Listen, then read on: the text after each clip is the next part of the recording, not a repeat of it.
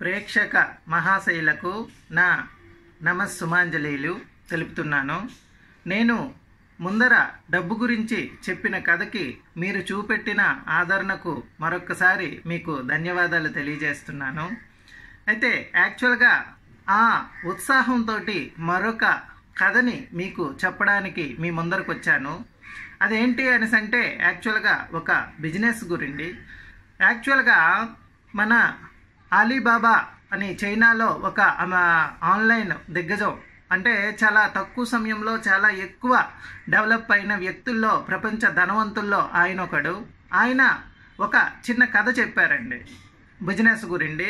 ఏంటి అనేసి అంటే ఒక కోతికి రెండు వేల రూపాయల నోటు మరి అదేవిధంగా రెండు అరటిపళ్ళు దొరికాయట. అయితే కోతి అనేది మంకీ అనేది ఇమీడియట్గా ఏం ఎంచుకుంటుందో మీకు తెలిసిందే కదా ఏం ఎంచుకుంటుంది? వెంటనే రెండు రూపాయల నోటు వదిలేసి ఆ రెండు అరటిపళ్ళు ఎంచుకుంది తిన్నది అన్నమాట.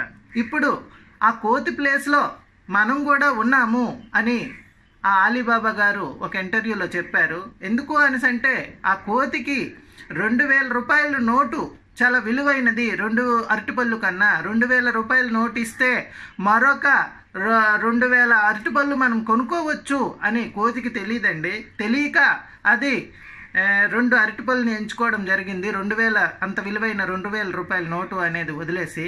మరి అదేవిధంగా అలీబాబా గారు మనల్ని కూడా చెప్తున్నారు.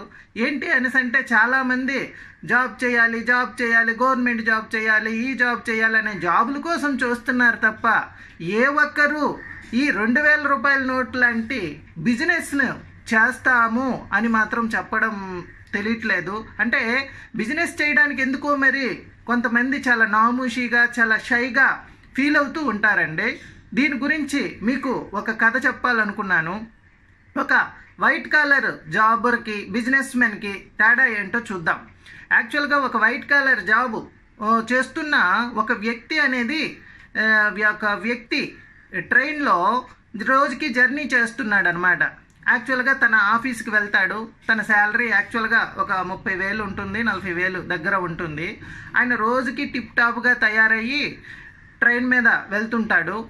అలా ట్రైన్ మీద వెళ్తున్నప్పుడు ఒక రోజు ఏం జరిగింది అనేసి అంటే ఒక చిన్న అబ్బాయి ఒక పదిహేను సంవత్సరాల అబ్బాయి పరిగెడుతూ పరిగెడుతూ పరిగెడుతూ పైకి ఎక్కాడనమాట చిన్న సమోసాల బకెట్ పట్టుకొని పరిగెడుతూ ట్రైన్ మీద నుండి బయటికి ట్రైన్ ఎక్కడం జరిగింది.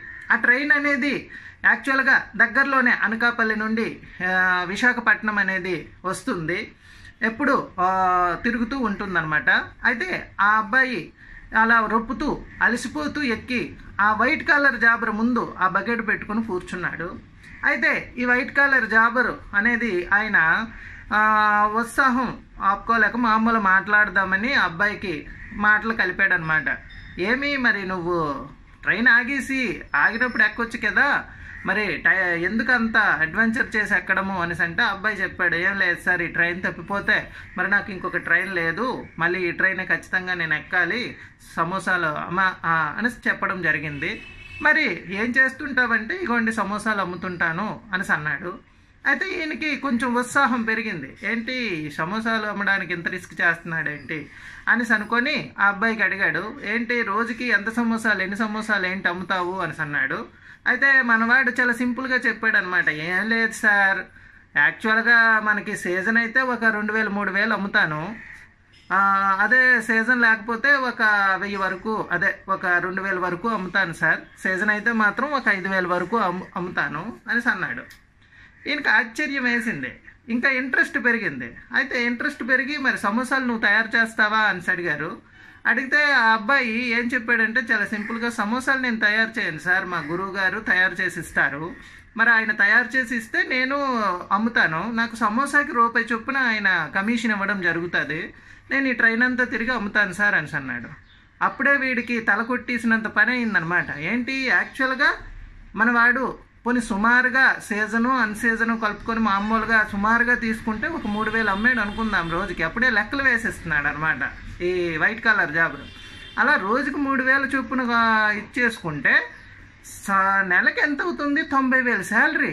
అంటే తొంభై వేలు సంపాదిస్తున్నాడు చాలా సింపుల్గా అనుకొని మనోడికి బుర్ర పాడైపోయింది అనమాట వైట్ కాలరు వైట్ కాలరు అని గర్వపడుతున్న మనోడికి అయితే ఆఫీసర్కి. అయితే మళ్ళీ అడిగాడు మరి ఈ డబ్బులు ఏం చేస్తావురా నువ్వు అసలు? అని అడిగేసరికి ఆ అబ్బాయి చాలా సింపుల్గా చెప్పాడు ఏం లేదు సార్ నేను గత ఐదు సంవత్సరాలకి ఈ పనే చేస్తున్నాను. నేను యాక్చువల్గా ఒక నాకు ఒక అమ్మ ఉంది ఒక అక్క ఉంది తర్వాత మాకు ఒక తమ్ముడు ఉన్నాడు ఆ అమ్మకి ఏం చేశానంటే యాక్చువల్గా ఒక మూడు ఎకరాలు కొన్నాను సార్. కొనేసి పొలం పని అప్పచెప్పాను. పొలం దున్నుతుంటుంది అమ్మ. మరి అదేవిధంగా మా తమ్ముడు ఉన్నాడు చదివిపిస్తున్నాను వాడికి ఇంజనీరింగ్ చదివిపిస్తున్నాను. ఇంకా మా సిస్టర్ ఉంది. మా సిస్టర్కి ఒక ఐదు లక్షలు ఇచ్చి పెళ్ళి చేశాను. అని చెప్పాడు అనమాట చెప్పేసరికి మనోడికి ఇంకా తల తిరిగిపోయింది. యాక్చువల్గా నేను వైట్ కాలర్ జాబర్ని వైట్ కాలర్ జాబర్ని అనే వెన్ను విరుచుకొని అందరికీ చెప్తూ ఉన్నాను. తీరా చూసేసరికి కనీసం నేను ఒక ఇల్లు మొక్క కూడా కొనుక్కోలేదు. లోన్లో కొనుక్కొని నెల నెల కట్టుకుంటున్నాను. కట్ అయిపోయి జీతము. వీడు చూస్తే పదిహేను సంవత్సరాలు గుంటడు లేడు. నాలుగు ఎకరాలు కొన్నాడని చెప్తున్నాడు. ఒక మూడు అంతస్తుల బిల్డింగ్ కొన్నాడని చెప్తున్నాడు. కడుతున్నాడని చెప్తున్నాడు. కొడుక్కి మళ్ళీ అదే తమ్ముడికి మళ్ళీ ఇంజనీరింగ్ చదివిస్తానంటున్నాడు చదివిస్తున్నాను అంటున్నాడు తర్వాత ఇంకా మన చెల్లికి పెళ్ళి చేశానంటున్నాడు ఐదు లక్షలు. వీడి దగ్గర మనం ఎందుకు పనికొస్తాము అనేసి ఆయన తెల్లమోకం వేయడం జరిగిందండి. అయితే ఇప్పుడు మనం అందరం అదే సిచ్యువేషన్లో ఉన్నాము. జాబు జాబు జాబు జాబు అని మన విలువైన సమయాన్ని మనం వేస్ట్ చేసుకుంటున్నాము. అందుకనే మీరు ఈ కథ విని మంచి ఇన్స్పిరేషన్ తోటి మీరు కూడా ఒక మంచి బిజినెస్ స్టార్ట్ చేస్తారని నేను ఆశిస్తున్నాను. ఈ కథని నేను వాట్సాప్లో చదివాను. నాకు కొంతమంది తెలిసిన వ్యక్తులు కూడా చెప్పడం జరిగింది. ఈ కథ ఇన్స్పిరేషన్ తోటి నేను కూడా ట్రై చేస్తున్నాను. బిజినెస్ స్టార్ట్ చేద్దామని. చూస్తాను. ఖచ్చితంగా మీకు చెప్తాను. నేను ఏం బిజినెస్ చేస్తున్నానని. ఓకే. ఈ కథ విన్నందుకు మీకు శతకోటి ధన్యవాదాలు తెలియజేస్తున్నాను. Thank you very much